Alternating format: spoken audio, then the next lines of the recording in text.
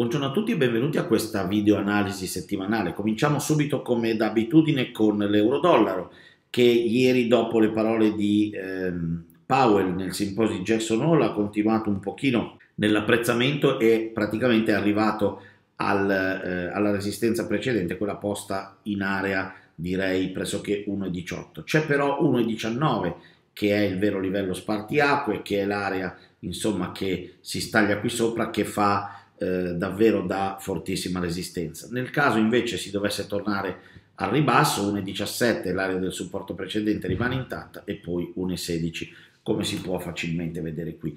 Ma eh, diciamo così, passiamo ora alle commodities dove possiamo vedere il petrolio che è tornato alla grande sopra i 66 dollari barile che erano eh, quel livello che una volta violato poteva lasciare spazio anche a una discesa più approfondita invece sul primo livello di supporto intorno all'area 62 c'è stata subito una reazione che è tornata proprio qui no? ad avere a che fare con la precedente resistenza praticamente in area 69 dollari e poi vedremo se si continuerà nel trading range 66-76 quello che vediamo in fondo eh, andare avanti qui oppure se eh, il greggio ci vorrà far vedere qualcosa di differente. Chi si è mosso ieri invece su Jackson Hole, sulla, sulla base di quello che è stato detto a Jackson Hole, è stato, è stato l'oro. Perché? Perché sganciare, diciamo così, eh, come ha fatto Powell ovviamente, l'andamento, la dinamica dei tassi di interesse da quella del tapering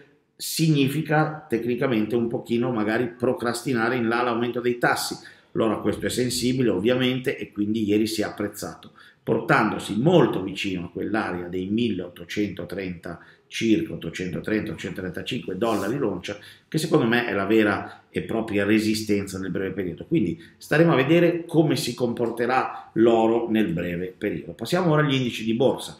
Proprio eh, per via delle parole molto eh, rassicuranti per i mercati da parte di Powell, che in fondo ha comprato ulteriormente tempo, abbiamo visto come sull'S&P 500 si sia andati a fare un nuovo massimo storico e che massimo perché siamo sopra i 4.500 punti, ma forse ancora meglio visto che procrastinalità si fa bene soprattutto alle società del settore grow, di cui è permeato il Nasdaq. Ecco qui il Nasdaq che dopo il recente breakout si avvia, diciamo così, a un nuovo massimo storico, oramai nei pressi dei 15.500 punti. Abbiamo poco fa, eh, diciamo così, celebrato eh, il superamento dei 15.000 e ora siamo già quasi a 15.500 punti, lo vediamo qua. Cosa succede in Europa? Beh, l'Europa non ha potuto approfittare appieno del movimento americano perché la chiusura qui è venuta prima, però come si vede c'è stato un po' di reazione sul DAX che in ogni caso non riesce ancora a portarsi sopra i 16.000 punti che sono il massimo intraday fatto vedere il 13 agosto e non più raggiunto. E poi sull'Eurostock che invece si stacca un po' da quel livello dei 4100-4120 che a mio parere continua a rimanere l'area di supporto più importante che noi possiamo vedere diciamo nel breve termine. Quindi vediamo se riuscirà a riportarsi sul massimo precedente. Rimanendo invece sul nostro mercato cioè sulla borsa italiana andiamo a vedere il FIB che eh, praticamente è ritornato a 26.000 punti e lì si è fermato. In una settimana tutto sommato poco mossa, vedremo la prossima, vedremo quale, sarà la piena reazione dei mercati eh, con la relativa maturazione che può andare in onda anche rispetto, diciamo così, alle parole appunto di Jackson Hole. Allora, eh, ho detto già no, che probabilmente eh, tornerà magari un momento buono per i titoli grow, eh, credo anche che potrebbe esserci un po' più America, diciamo, nelle prossime situazioni, quindi una volta tanto partiamo prima dai titoli americani e ne faccio vedere alcuni che mi piacciono. Eh, primo è Google, lo vedete, ha fatto un bel movimento rialzista. Breakout era già arrivato qualche giorno fa, però adesso qui c'è l'ulteriore conferma con anche l'aumento dei volumi, lo vediamo qua. Quindi, secondo me, momento interessante per Google eh, che potrebbe essere eh, davvero eh, interessante. Anche Oracle, guardatelo qui, è un titolo che mi piace perché invece ha potenziale per andare chissà magari a fare un breakout. Vedremo nelle prossime sedute se sarà in grado di portarsi sopra quell'area dei 91 dollari per azione che potrebbe significare movimento interessante. Andiamo a vedere.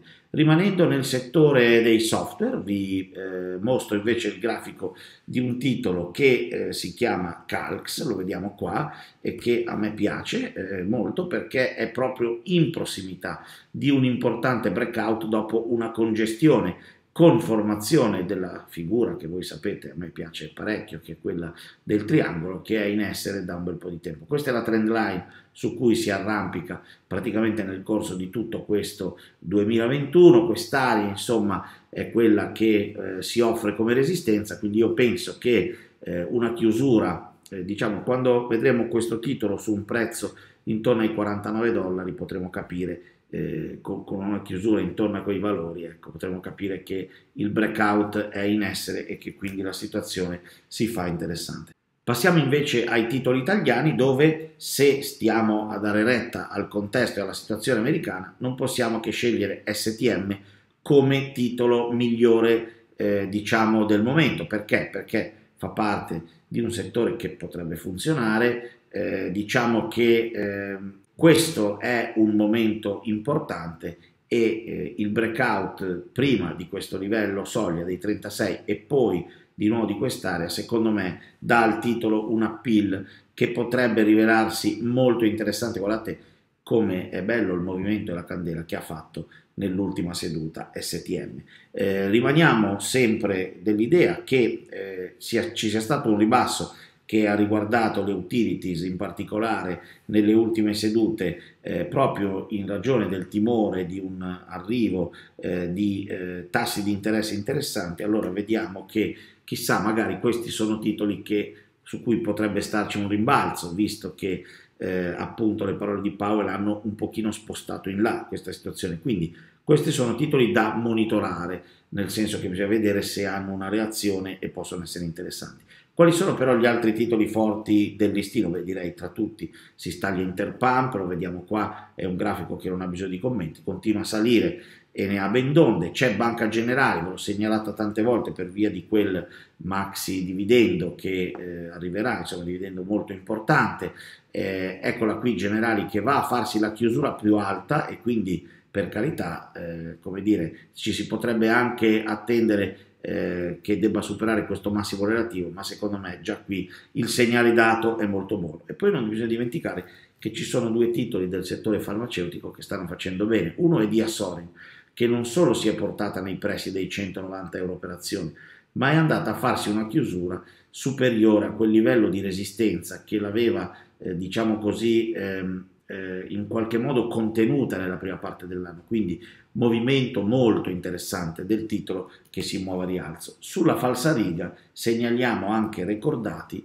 che, lo vediamo qui, è vero che eh, nelle ultime sedute non aveva fatto bene, però il movimento della seduta di venerdì sa di un movimento che magari può lasciare poi eh, dar seguito a un'ulteriore fase di rimbalzo che potrebbe rivelarsi ulteriormente interessante. Quindi momento un po' particolare sul mercato, non ci sono azioni che eh, sono di per sé particolarmente convincenti, a parte quelle che sono in quel trend già bellissimo che abbiamo visto. Segnalo con potenziale per fare un breakout anche Buzzi Unicem che non è sui massimi, però come vedete sta continuando a bazzicare intorno a quest'area e qui sì starei attento proprio anche ai massimi intraday che hanno respinto il titolo, quindi sarebbe carino vedere il titolo sopra l'area 22,85. Insomma, ne abbiamo viste un po' per ogni, la prossima sarà una settimana decisiva con i dati dei payrolls che faranno un po' da effetto risucchio perché oramai con la Fed che si è dichiarata